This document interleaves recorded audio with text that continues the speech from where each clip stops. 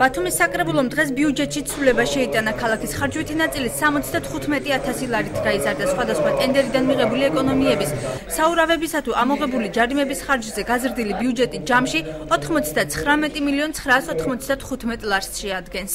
თანხა ძირითადად მიმართა 26 მაისის ქუჩაზე მდებარე სახანძრო შენობის სარეაბილიტაციო სამუშაოებისათვის, ასევე ერისთავის ქუჩაზე წყლის სისტემების სარეაბილიტაციო სამუშაოებისათვის ცვლილებები შეეხო ასევე სხვადასხვა მუნიციპალური პროგრამებს, კერძოდ ნაწილი ღონისძიებების ამოღებული იქნა, მაგალითად ეს შეეხება ქუჩებისა ტროტუარების კეთილმოწყობას, მიმდინარე წელს ამოღებული იქნა ფიროსმანისა და ფარნავაზ მეფის ქუჩების შეერთების სამუშაოები, ვინაიდან მოსახლეობასთან ვერ მოხერხდა მოლაპარაკება. თანხები იქნა დამატებით გათვალისწინებული მცირე ზომის ყინულის სასახლის მრავალ ფუნქციურ სპორტულ დარბაზად გადაკეთებაზე. ცვლილება შევიდა ბათუმის საბავშვო ბაღების გაერთიანების წესდებაშიც. ნაცვლად ონლაინ რეგისტრაციის სამშობლები ბაღებში ბავშვების დასარეგისტრირებლად 15 ივლისიდან ადმინისტრაციულ ტერიტორიაზე მდებარე სკოლამდელ დაწესებულებაში უნდა გამოცხადდნენ. ონლაინ რეჟიმი მოუხერხებელი დარჩა იმის გამო, რომ ბაღებში მაშინ ნულოვანიდან უნდა დაგვეწყო ბავშვთა მიღება და ჩვენ ყვალდა საბავშვო ბაღში ახსაზრდელები. ამან გამოიწვია ის, რომ მოწოდებული ვაკანსიებით რო გამოვაცხადეთ ელექტრონულ საბავშვო ბაღში ბავშვების ჩარიცხვა, ამის შემდეგ აღმოჩნდა ბაღებში იმაზე მეტი იყვნენ, ვიდრე უნდა ყოფილიყვნენ.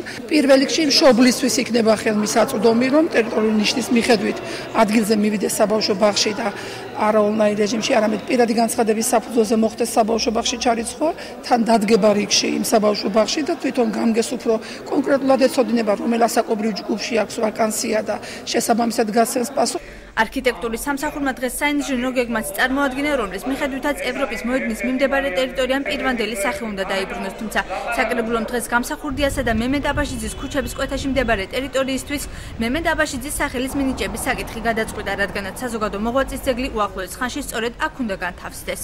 მე ის ძველი კარგის აღდგენა უფრო მომწონს, მაგრამ ეს არის მსჯელობის საკითხი და ჩვენ ამას დამალულად ნამდვილად არ ვაკეთებ.